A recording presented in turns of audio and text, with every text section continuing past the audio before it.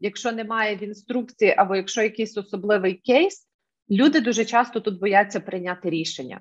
Якщо ми не можемо це зробити швидко, давайте це зробимо добре. Нам обов'язково треба втримати свою репутацію і те, що ми взагалі світу стали цікаві. Якщо це буде, то е, я думаю, що ми будемо супер успішною країною.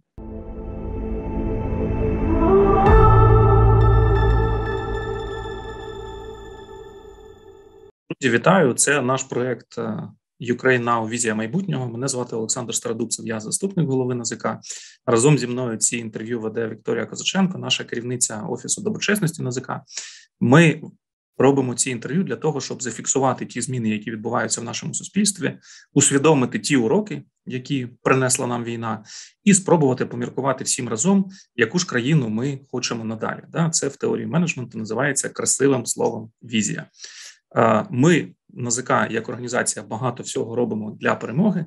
Наприклад, ми на сьогодні лідуємо весь рух по персональних санкціях росіян по всьому світу, але ми точно знаємо, що вже зараз ще до настання остаточної перемоги, які ми сподіваємось, яка ми сподіваємось буде дуже дуже скоро. Вже зараз час міркувати про майбутнє і думати про те, що нам потрібно робити після цієї перемоги.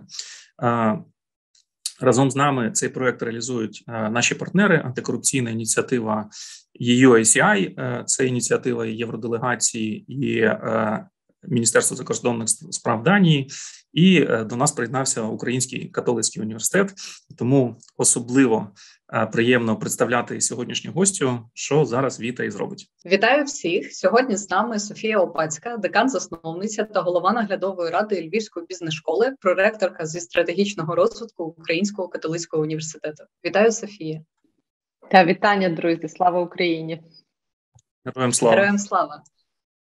І власне у нас перше традиційне питання до вас вже Два місяці триває війна в Україні. Ми бачимо, що багато подій відбуваються як на фронті, так і в тилу, так і на міжнародному на міжнародній арені. І от з ваших спостережень, які соціальні та світоглядні зміни відбуваються з нами протягом цих тижнів? Якщо можемо, давайте спробуємо їх одразу структурувати за ключовими напрямками. Перше з них це довіра і взаємодія, і другий це відносини держава, суспільство і між громадянами. Так, дякую. Ну це таке дуже велике об'ємне запитання. Е, е, Мені легко відповідати на першу частину про довіру, тому що мені здається, що ми є точно інституція, яка е, всі ці роки, які ми існували, ми намагалися вибудовувати довіру, довіру між тими людьми, які з якими ми взаємодіяли. Е, довіру до нас як до інституції, і на жаль, таких прикладів не дуже багато в Україні, коли інституції були здатні е, вибудувати довіру до себе більше того, не тільки в своїй країні, а в цілому світі. Е, тому зараз я б сказала, що знаєте, наскільки наскільки драматичним є момент, ми як організація, мені здається, і ми як країна в певному сенсі можливо пожинаємо плоди хорошому сенсі того, того, що ми робили дуже багато років. Е, Ну мені здається, коли конкуренти об'єднуються і роблять щось спільно, або е, люди, які не працювали разом до цього, просто сідають за стіл і швидко, або в зумі і швидко домовляються про якісь е, проекти, кроки е, важливі для країни речі і абсолютно відкладають свої персональні амбіції в бік.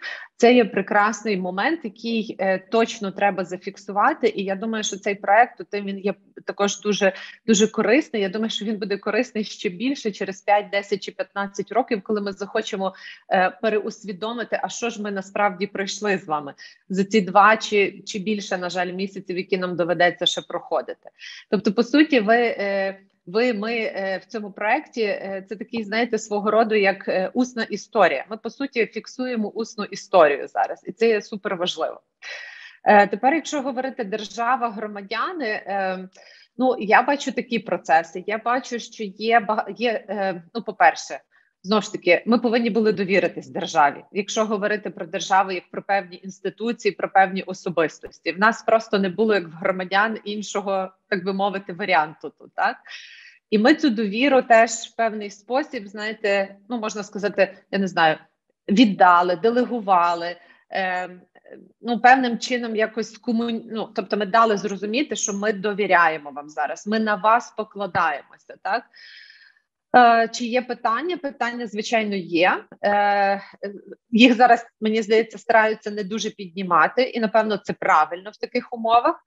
Е, я сподіваюся, що ми знову ж таки їх не запхаємо під стіл, коли все завершиться. Що ми їх в дуже конструктивний спосіб переосмислимо. Також з іншого боку, людям, які представляють державу, треба також знаєте, усвідомлювати, що ну.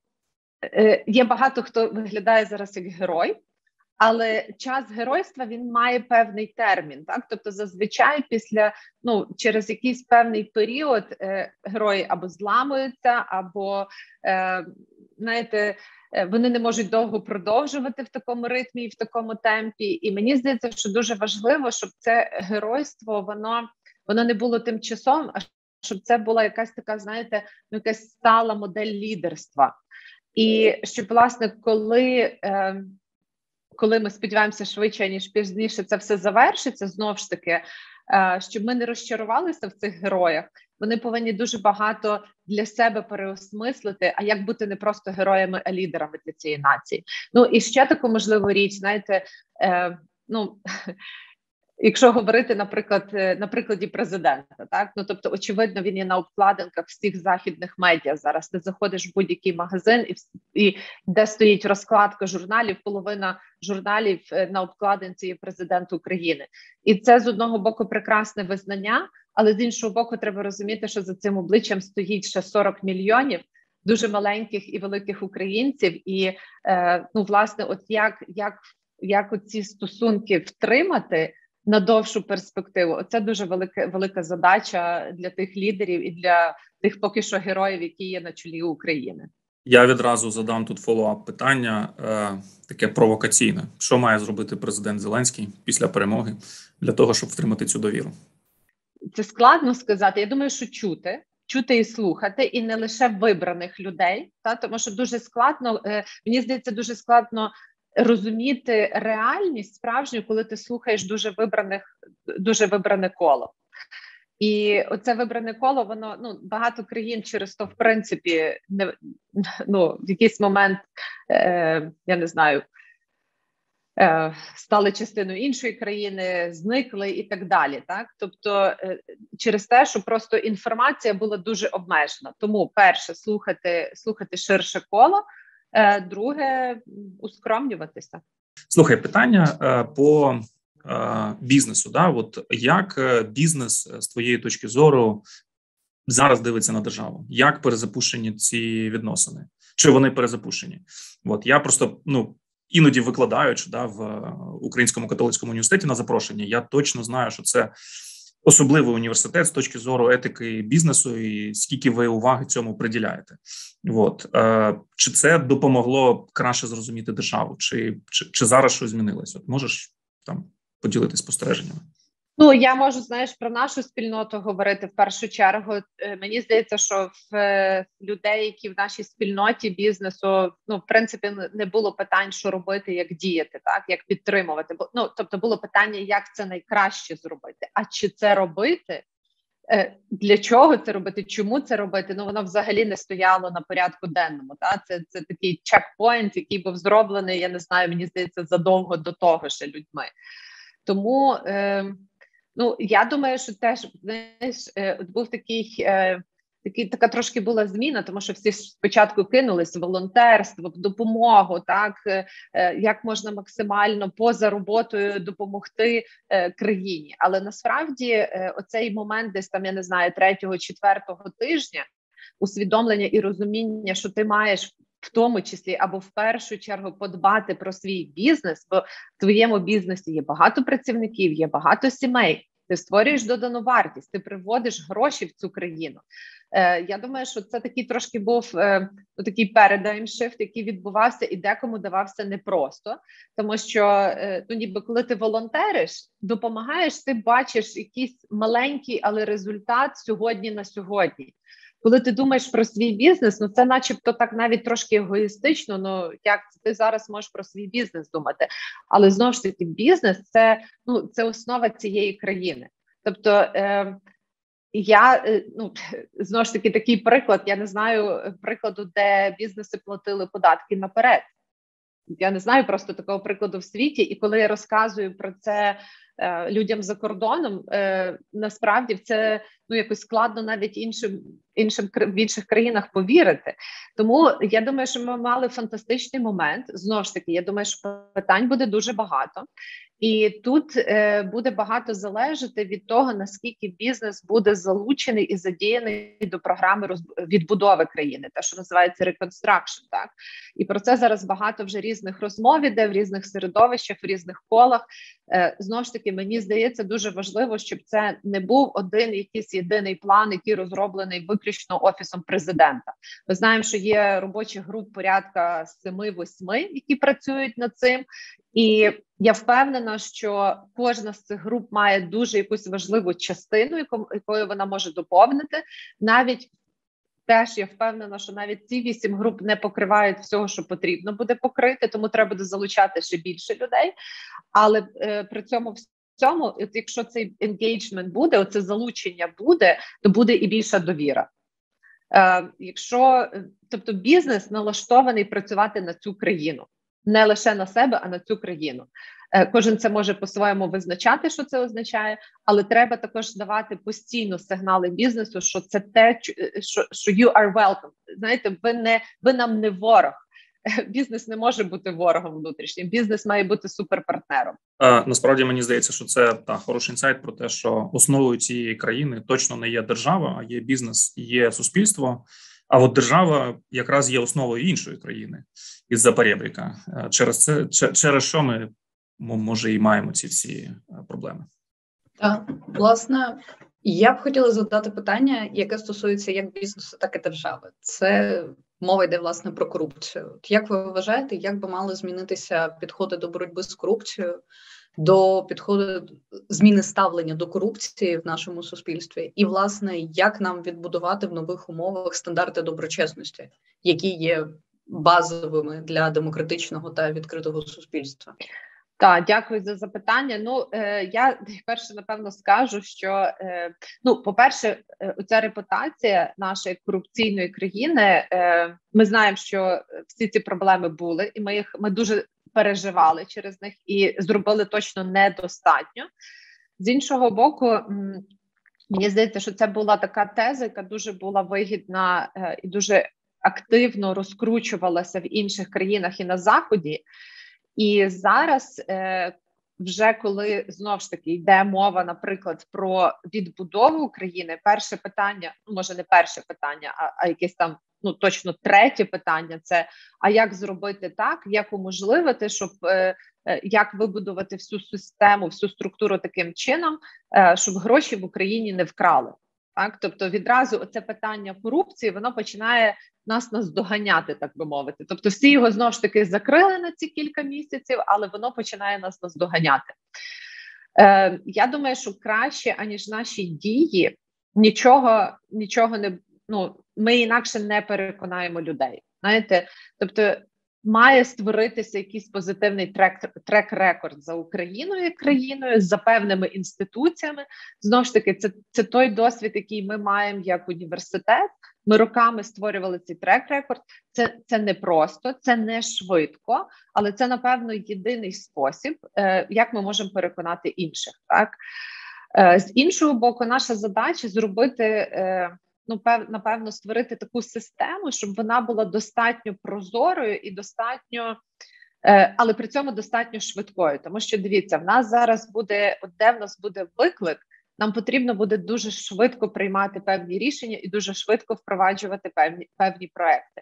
І швидкість вона от вона суперечить, начебто, тій довгій довгій терміновості цьому всьому, і нам доведеться напевно часом приймати зараз і непрості рішення, і далі це буде залежати від людей, які цим приймають ці рішення. Тобто доброчесні люди, доброчесні інституції, і тільки тоді буде доброчесна репутація. Насправді е, там я ж трошки знаю про прозоро, да не завжди е, прозорість е, потребує якогось великого часу. Зараз достатньо цікаво відбувається якраз дискусія, дебати от на новому времені було між е, Міловановим там і Сергієм Фурсою, да, де обидві позиції вони мають рацію. Да? Тобто, з одного боку, доручати просто іноземцям відбудовувати Україну. Ну це якась дивна історія. Як мінімум, іноземці зараз там ну нам звичайно допомагають, але воюють українці, тому українці це і мають робити. З іншого боку, багато питань е, щодо доброчесності, причому. Е, так само там багато дезінформації, тому що Росія навчилась качати цю тему і бити в тему корупції за останні вісім років дуже добре. Не все те, що про що говорить Росія, є фейками і вкидами. Там є очевидно привід для того, щоб це качати, але але є багато фейків. І от нам би якийсь якось знайти баланс, щоб все ж таки рішення приймали ми, але при цьому була достатньо прозора система, принаймні транзакцій, щоб можна було подивитись там хто що робив. Ну я абсолютно погоджуюсь, що тут багато буде вирішувати саме лідерство і репутація. Да? Тобто, якщо цим займається людина чи команда, до якої є апріорна довіра, то то, то воно має успіх. Як нам зробити, щоб таких команд і таких людей було більше?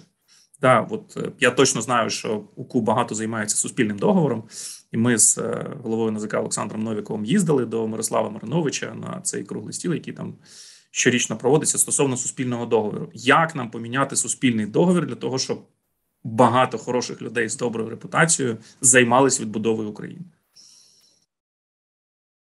Ой, ну запитання, е, які починаються з як, це дуже складні зараз запитання, тому що. Ну, найперше, нам треба не втратити всього того, що ми е, що ми здобули за останні два місяці.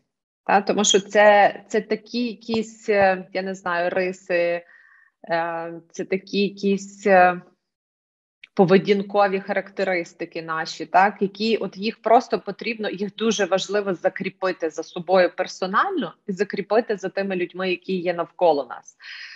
Тому що від, від того багато буде залежати. Ми просто маємо якусь таку здатність, знаєте, коли в нас ну все дуже супер погано. Ми дуже, ми дуже добре і правильно і чесно, і і по-людськи поводимося е, там, де ми є. Як тільки все стає добре, ми починаємо між собою там сваритись, ділити, і і от це це, це, це результат, е, який ми бачили після помаранчевої революції, там може трошки менше після революції гідності, але воно просто ну воно просто в часі розтягнулося. Знаєте, тобто е, якось так. І тут я не знаю, ну знову ж таки. Для мене це є суперповедінкова річ, яка е, має формуватися в людей, яка має формуватися через певних організаціях, і тільки тоді вона буде закріплятися.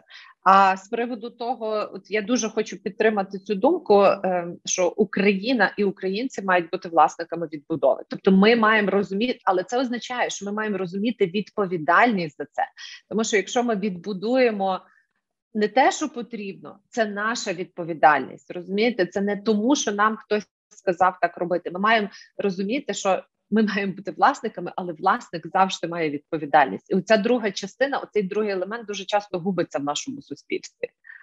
Слухай, а ну ще одне непросте питання: а яка може бути роль церкви в цьому всьому?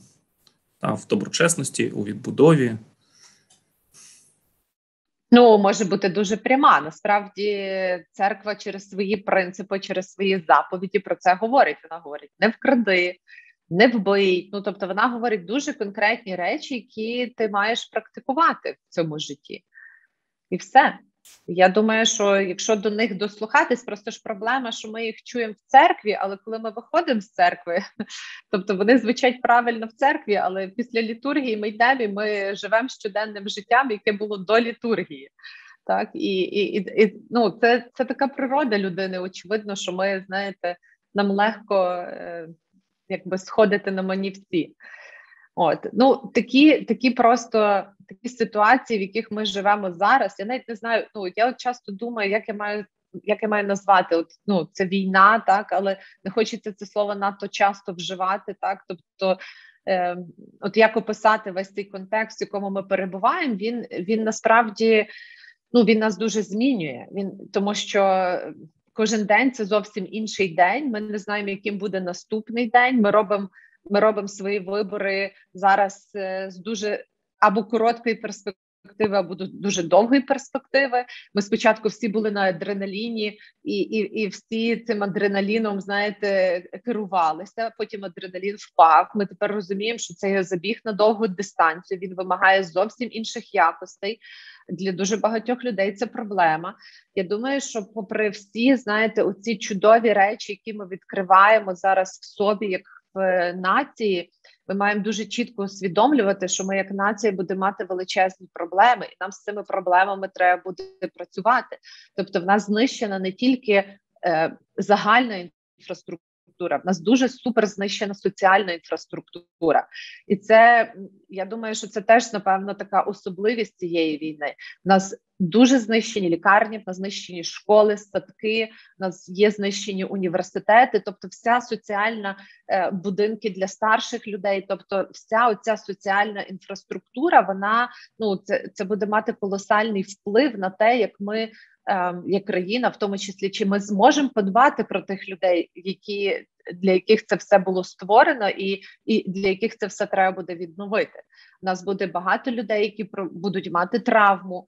Е, і я думаю, що насправді ми всі вже маємо певний вид травми. Знаєте, вона просто є різною і іншою, тому що хтось е, пережив страшні речі там під Києвом чи на сході України, а хтось страждає на на заході від того, що змушений був виїхати, і чи роблю я достатньо, і це теж травма. Знаєте, тобто е, я думаю, що нам треба буде дуже важливо, коли ми все це знаєте, е, коли ми знов з адреналіном візьмемось за відбудову, дуже важливо буде не забути, що насправді в першу чергу це є 40 мільйонів людей. Знаєте, що це не це не є просто територія, це не є просто інфраструктура, яку нам треба відбудувати. Нам треба пам'ятати цей людський елемент. І я думаю, що якщо цей людський елемент буде в центрі суспільного договору, тоді буде набагато простіше приймати рішення. Давайте поговоримо про уроки війни, тому що насправді, от одна з частей цього проєкту, ми починаємо з такої рефлексії, спроби осмислення, та що з нами зараз відбуваємося, що ми переживаємо, і це в першу чергу емоційна історія. Але нам здається дуже важливо спробувати проаналізувати наші помилки, які нас, по-перше, привели в цю ну як широкомасштабну війну, і по-друге, які ми допускаємо зараз. Ви складні запитання задаєте, я хочу сказати. Е, Я думаю, що ми трошки були, знаєте, є таке слово літепні.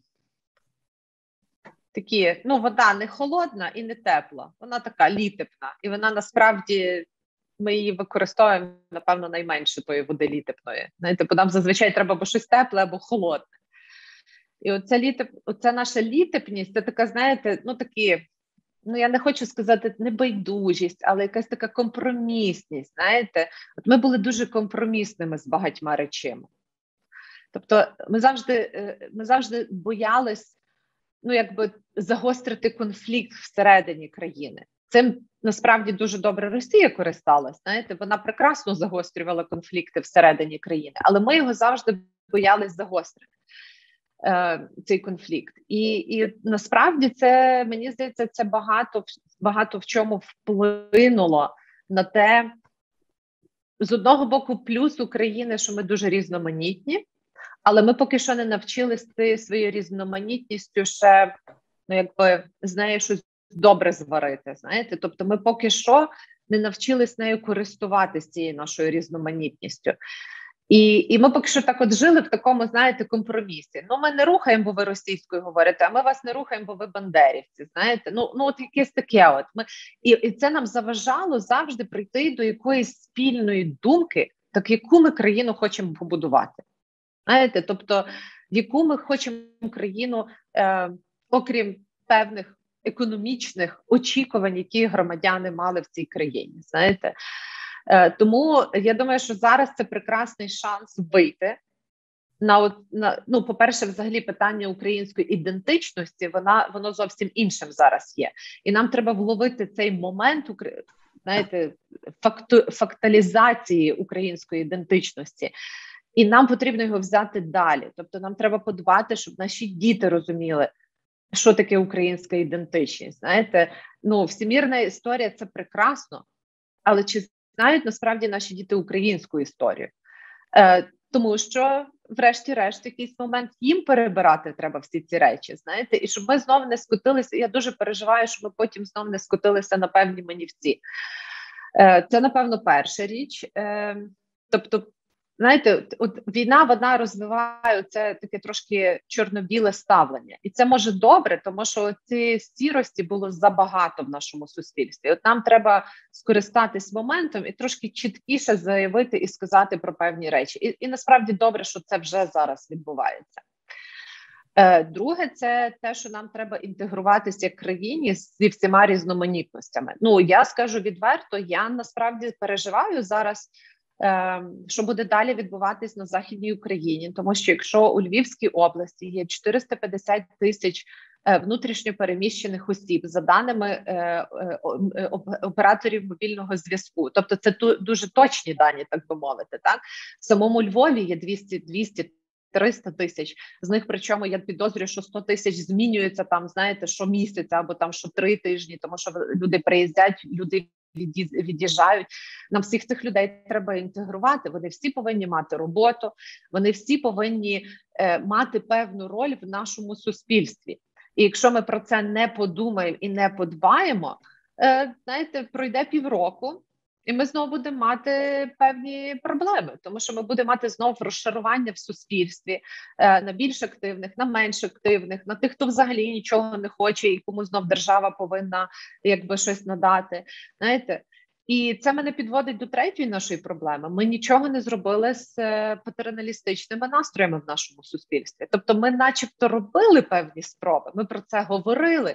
Ми, як університет, дуже багато і часто про це говорили, так але насправді ми країну не зняли з цих патерналістичних реїв. Тобто, нас завжди е, уряд, президент, Верховна Рада мали щось нам дати. Е, багато змінила е, реформа децентралізації, так і те, що віддали певні повноваження в громади. Я думаю, що це було просто чудово, і напевно тільки от тоді люди почали певну відповідальність е, відчувати. Але при тому всьому відсоток патерналістично налаштованого населення залишає залишався дуже високим перед війною і туди дуже легко повернутись, особливо коли ти приїжджаєш е, на західну Україну і тебе приймають, і знаєш, знаєте, дають місце, де проживати, харчують, і ти ти через три місяці можеш подумати: ну а навіщо йти працювати, як можна так далі жити? Або ну жити може якось по-іншому, але залишатись на утриманні держави. Тобто, мені здається, кожен українець має усвідомлювати, що є якась роль для нього в цій країні, і цю роль потрібно робити. І ця роль має приносити якусь додану користь. Мама, яка виховує дітей, це теж є додана користь, дуже велика. Але при цьому всьому є люди, які можуть працювати, і вони повинні працювати. Я не знаю, чи я відповіла на питання, може зовсім в іншій сфері, ніж ви очікували, але ну це якісь, напевно, такі думки, які от в мене зараз є. Ви згадали українську ідентичність. Що ви розумієте під українською ідентичністю? З чого вона складається? Вона складається зі всього: з мови, історії, культури, е, бачення майбутнього, країни, просто ідентифікації себе з цією країною, що ти хочеш в цій країні жити, і ти хочеш, щоб ця країна була кращою. Нас насправді були цікаві розмови про те, що українців вже насправді там 60 мільйонів. Да, і тут питання, чи ти обов'язково маєш жити в Україні. Для того щоб відчувати себе українцем, тобі боліло за цю Україну. Це це це це хороше питання. Да? Тобто, нас значно більше, і багато українців зараз робить багато всього по всьому світу. От, тому... Я дуже дякую тобі за це уточнення, тому що я коли сформулювала, я така подумала: хм, чи це я сама про це подумала. Е, Я думаю, що я скоріше може навіть маю на увазі жити не обов'язково постійно, Е, не... але все-таки себе ідентифікувати з цієї ідентифікувати, тому що якщо ти десь є далеко, але ти себе ніяк не особлюєш, ніяк не ідентифікуєш. Ну і напевно, якщо ти там я не знаю за 20 років жодного разу не був в Україні, ну ну це склад. Ну я не знаю, може це не має значення, чи 20, чи 30, Там це може не важливо, так тобто я не хочу зараз якісь патерни тут впадати. Мені здається, що це, але ця ідентифікація вона дуже важлива, тому що насправді було дуже багато продовж багатьох років українці, які виїжджали за кордон, соромились сказати, що вони з України є. Тому тут тут ти повністю правий. Е, що напевно не обов'язково постійно проживати, але оця от якась ну от, оцей якийсь зв'язок він повинен він повинен бути певним чином.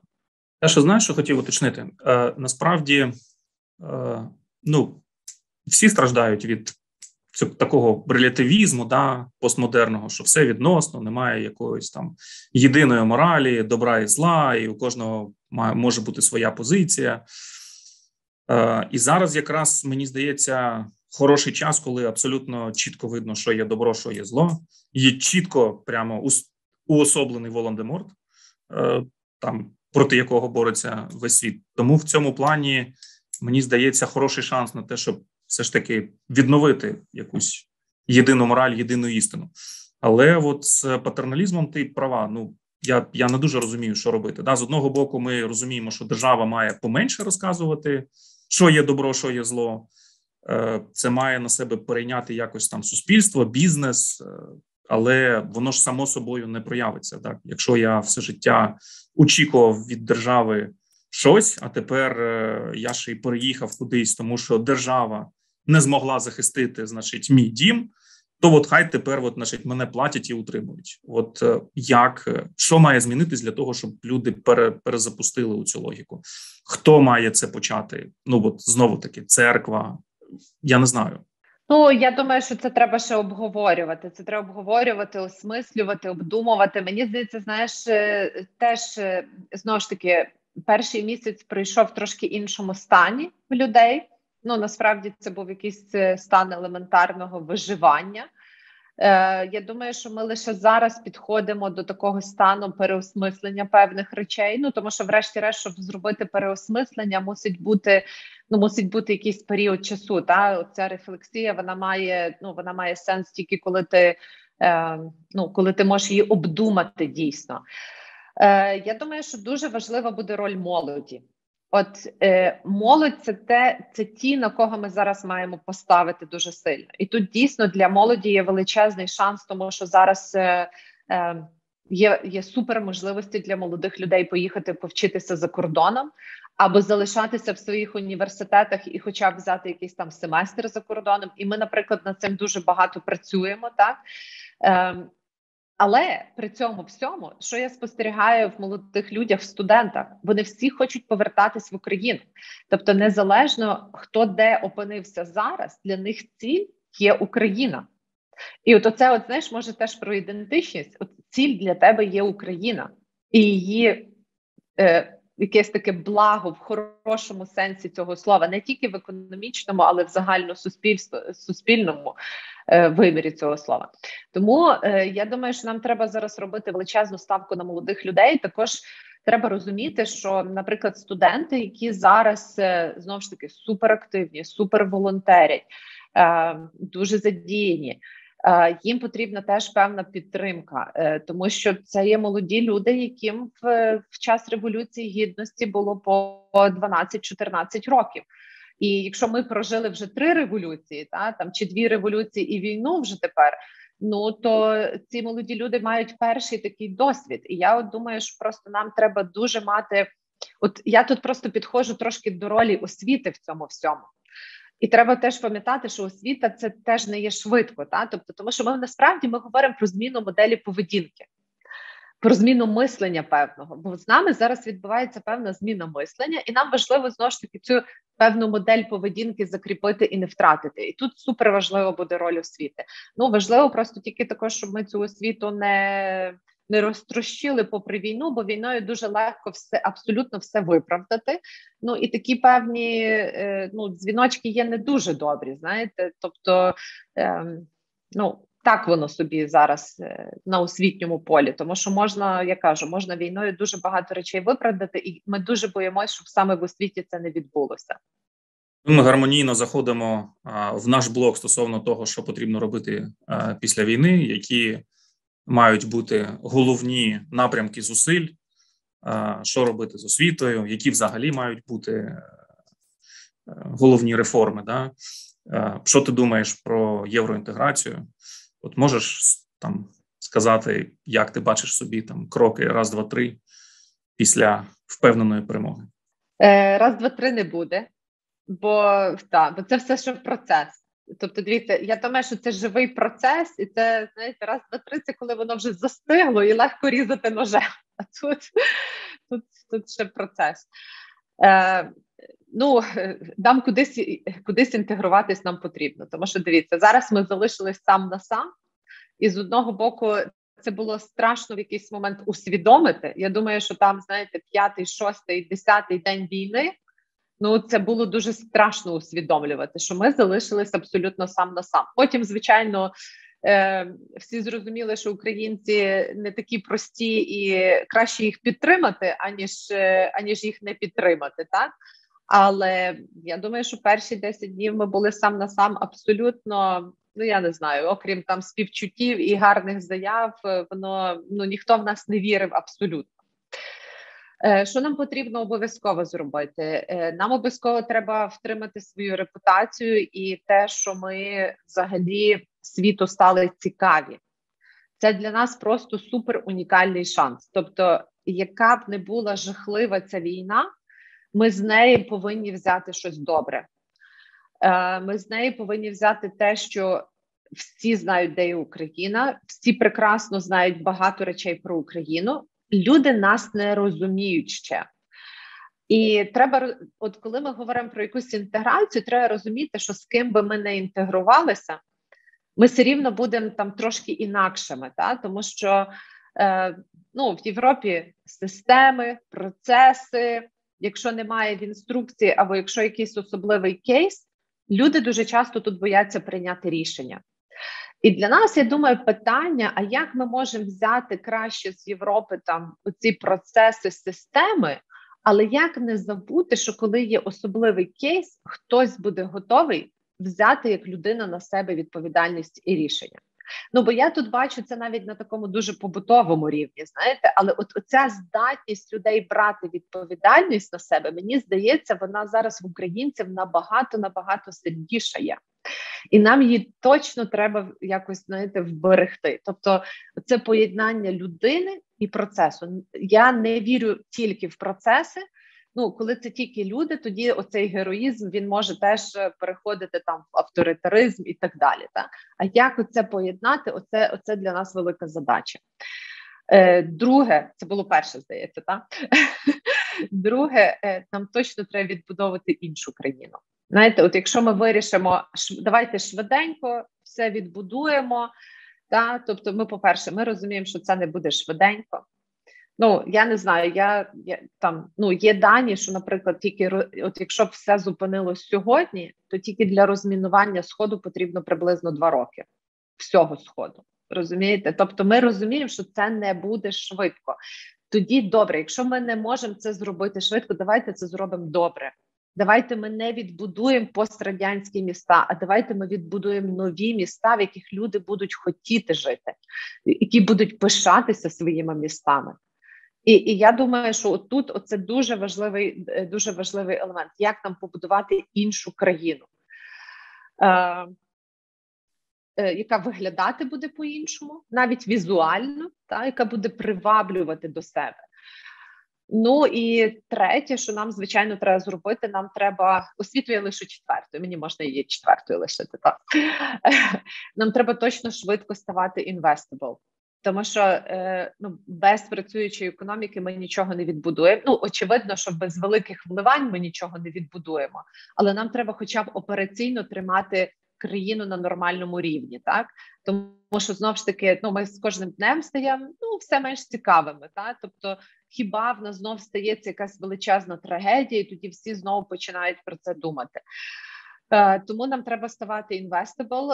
Звичайно, що поки війна не закінчиться, е, цього ну це складно очікувати, але треба шукати якісь треба знову ж таки використати нашу творчість і шукати якісь способи для цього. Так е, е, як не загубити 60 мільйонів українців?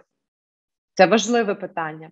Це ну ми думали, що у нас вже 35, а тут раптом оп, нас стало 60. Як цю всю силу нашу використати зараз і в світі, в тому числі, в тому числі в світі, тому що ми почали мати вплив якийсь. Е, я розумію, що це може такі трошки загальні речі, але це певні напрямні, про які нам треба думати. Тобто, не ну мало зараз там пунктів раз, два, три. Є я думаю, що є такі великі магістральні лінії, і в тих магістральних лініях там вже треба детальніше працювати. А по освіті е, я думаю, що треба не забувати про університетську автономію, якщо ми говоримо про університети. А про якщо ми говоримо про дітей, нам треба точно, щоб вони йшли в школу. Тобто, сам фактор їхньої його перебування в школі і соціалізації, це це просто буде мега важливо для ну, хоча б зменшення тої травми, яку вони яку вони всі вже отримують. Так? Е, Тому тому освіта е, на освіту треба зробити ставку теж. Треба зробити, і не можна. Я боюсь, е, от що мене турбує в освіті, ну грошей ж менше. Тобто, у нас спосіб який давайте вріжемо давайте злиємо там, давайте зробимо бакалаврат, може не 4 роки, а 3 роки. Але ну тобто, це такі, знаєте, це космети, це косметично, це це не є косметичні зміни з одного боку, але це якісь такі зміни, ну, які простіші. А, А от трошки глибше на це все подивитись, бажання немає, на жаль. Слухай, ну от е, ти абсолютно права з великими напрямками розмов та про investable країну, про економіку з одного боку, про освіту з іншого боку, про соціальну компоненту з третього боку, де де, де мають починатися ці розмови? Хто і як їх має починати? Знову таки, ми ж кажемо, що держава має поменше, де де, де, де, де, де то точка початку зміни суспільного договору і трансформації суспільства. Ну Хто це дивись, я дивись, я думаю, що е, чим більше до цього буде залучено всіх, тим краще. І е, це теж такий процес, який відбувається там період революції або воєн. Та? Тобто ми не чекаємо, що нам хтось скаже, що треба займатися там пошуком бронежилетів чи медичних препаратів чи е, харчі робити. Кожен бере і починає щось робити. Далі воно з якимось часом починає трошки ті малесенькі малесенькі струмочки починають стікатись в річечку, якусь так там річечка до річечки, і тече велика ріка. Звичайно, є питання, чи це є суперефективно. Може ні, з точки зору ресурсів, але з точки зору залучення людей, е, усвідомлення людей і якогось їхнього такого ну я не знаю якогось їхнього впливу. Я вважаю, що це дуже це дуже добре є. Тому тут та сама історія. Є багато різних груп, є багато інтелектуальних середовищ. Е, Є багато ті самі університети мають дуже багато міжнародних партнерів. Слухайте, насправді на міжнародній арені в нас просто не початий край роботи. Ну, наприклад, ми е, з боку університету дуже багато е, писали до партнерів і до колег з приводу Russian Studies які просто фінансувалися, і які були осередками, знаєте, де купа представників КГБ просто е, ефективно працювали. Е, ну, така така дуже проста, е, такий простий приклад. Зараз де дають дуже багато стипендій українцям, і в дужках пишуть росіянам і білорусам.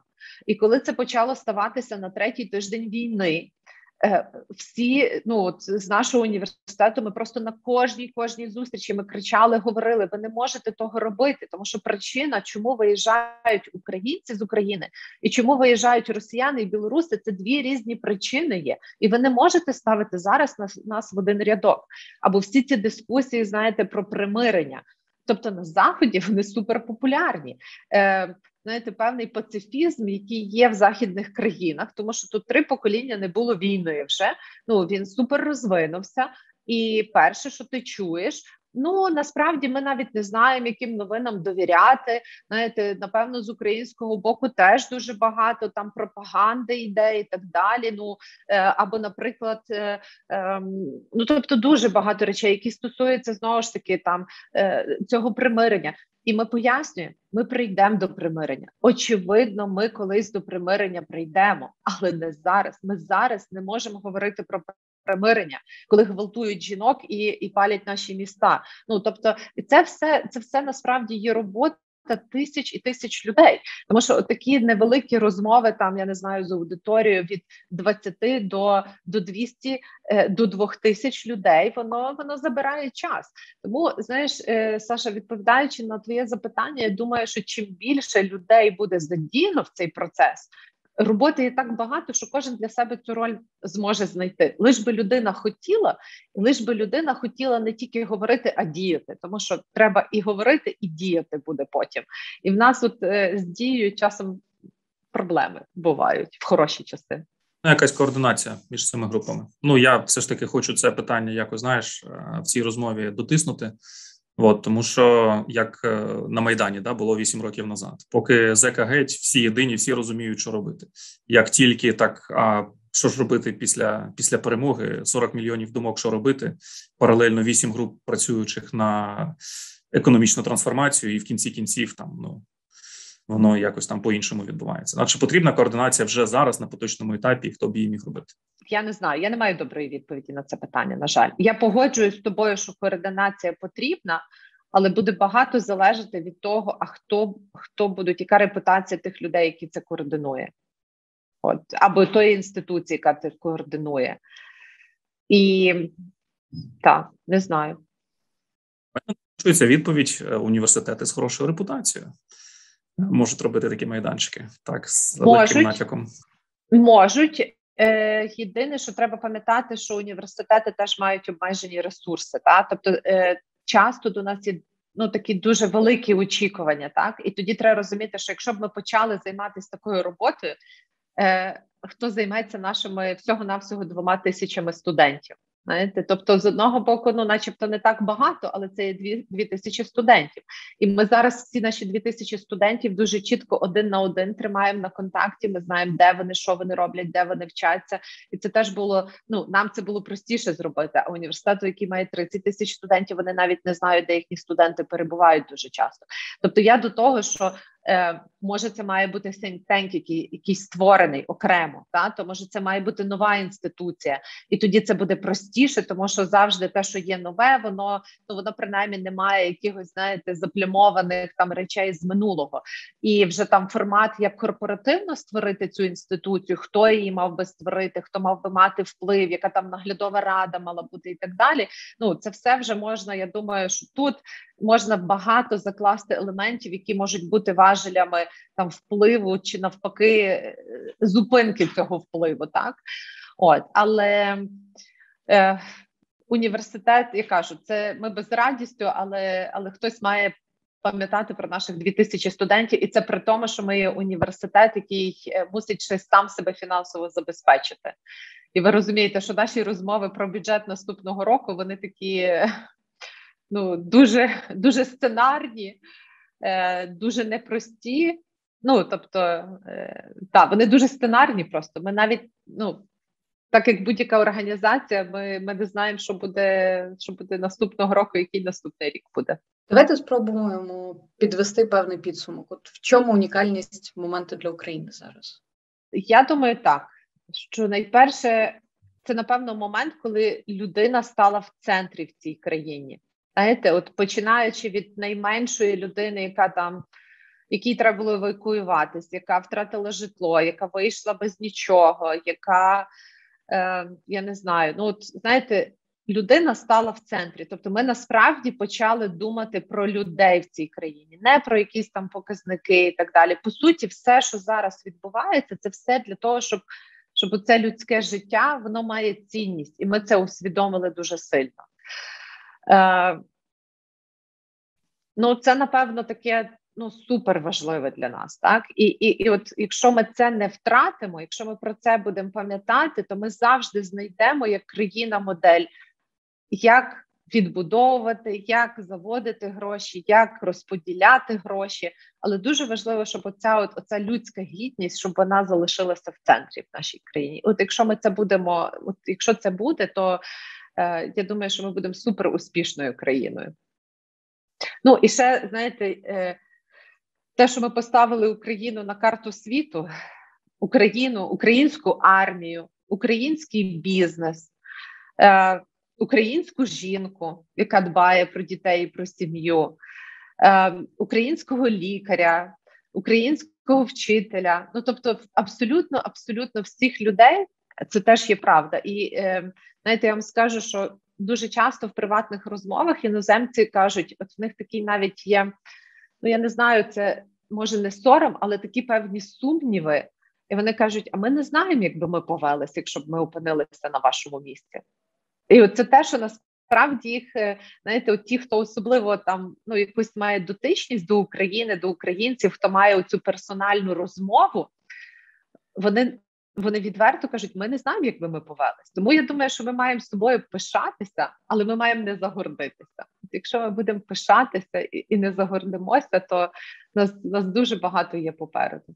Я просто подумав про те, що оця людиноцентричність, та це може бути таким великим наративом державної політики, якою б там невеликою вона б не мала бути, але от це це дуже важливо. Та? Тому що якщо розуміти, що держава там загалом робить всього дві речі, вона формує політику і надає сервіси, то в сервісах це вже спостерігається там достатньо давно. Сервісів стає більше. Дія в цьому плані взагалі там зробила хороший прорив. Да? Тобто, сервіс е, держава забирає чиновника від спілкування там е, людини з державою. От. Але от з точки зору формування політики, мені здається, що тут багато чого потрібно е, ще робити і думати, бо дуже часто всередині стоїть процес, відповідність якимось регламентам, якимось постановам. А що з цього в кінці кінців буде для людини? Це таке остаточне питання. Оце б якось змінити, але знову таки на рівні свідомості. Да, Тут потрібно багато менеджерських програм і тренінгів, які б це пояснили в принципі, ну там хорошим, адекватним людям всередині системи. Добре, саме саме крайнє там питання: порадь книгу. Ми всім задаємо це питання. Е, порадь книгу, яку зараз міг би прочитати пересічний українець і зрозуміти, що з нами відбувається, і куди нам далі рухатись.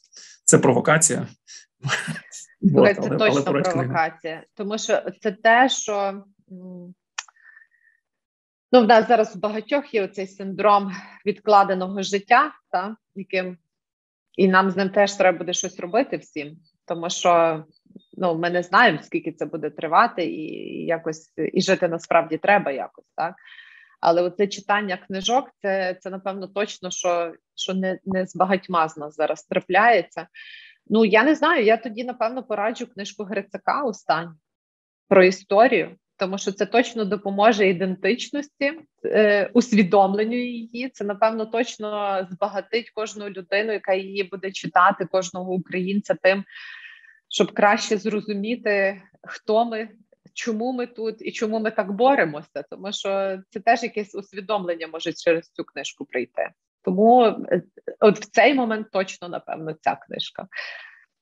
Ну або будь-яка книжка Плохія, наприклад, також так. Тобто дуже хороші його історичні книжки. Тобто, я б напевно, мені здається, що це принаймні не буде створювати в людей дисонанс, знаєте, е, контексту і того, того, що ти читаєш. Щось всі всі радять е, читати історичні книжки. Такі, мабуть, Ну, бо ми в е, такий момент. Розумієш, ми в такий момент, коли коли нам треба це розуміти краще і і якщо ми цього не зрозуміємо, то ми знову станемо літепними і зійдемо на манівці. Угу. Ну, можливо, це в тому числі певна проблема з а, навчанням історії, яку принаймні старше покоління точно отримувало не з книжок а, Грицака та Плохія. Окей, а, будемо завершувати. Круто, багато інсайтів, те, що ми хотіли. От це був наш проект Ukraine Now Візія майбутнього. Ми запрошуємо сюди наших друзів, експертів, лідерів громадських думок для того, щоб сформувати, яку країну ми хочемо, і рухатись в тому напрямку. Так, дякуємо величезно, Софія, за таку цікаву розмову. А ми запрошуємо всіх підписатися на наш канал, щоб слідкувати за інтерв'ю. Ми обов'язково викладемо питання, які ми сьогодні задавали. І, будь ласка, відповідайте до на них, долучайтеся, тому що творення країни це спільна історія.